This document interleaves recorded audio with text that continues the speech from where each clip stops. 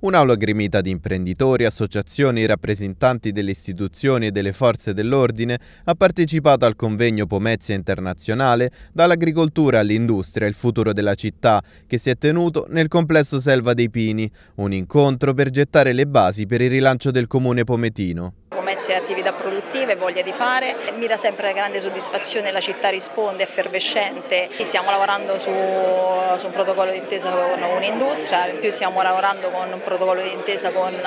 col Diretti, con, con Agricoltura, stiamo elaborando dei sistemi che possano attenzionare questo territorio con,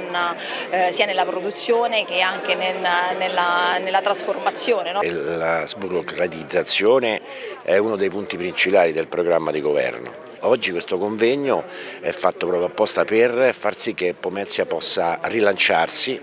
attraverso non solo a reparto agroalimentare, c'è tutto il, il, settore ittico per esempio che va trovata una soluzione perché è un peccato che, che eh, Pomezia attraverso eh, forse uno dei più bei litorali che ha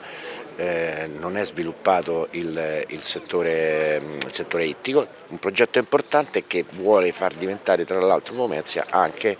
una sede base logistica perché eh, occorre internazionalizzarla. E proprio durante il convegno l'assessore regionale Giancarlo Righini ha annunciato un incremento di fondi per il bando destinato all'internazionalizzazione delle imprese che nel 2024 arriveranno a 20 milioni di euro. È un eh, cosiddetto piano di internazionalizzazione che prevede dei fondi attraverso la formula del bonus c'è un bando a cui le aziende possono fare riferimento. L'idea è quella di dotare le imprese di risorse che consentano poi a queste imprese di partecipare a manifestazioni fieristiche nazionali e internazionali, di partecipare a tutti quegli eventi che li avvicinano ai mercati. Non vogliamo più ricorrere al debito, non vogliamo svendere niente del nostro tessuto economico, ma vogliamo riequilibrare la ricchezza creandola e quindi investendo sulle imprese e sugli imprenditori, proteggendoli, semplificando le norme, aiutandoli nell'export e aiutandoli ovviamente anche nel consumo interno di prodotti di qualità, perché l'Italia è la nazione della qualità, sulla quantità perdiamo sempre e sulla qualità non perdiamo mai.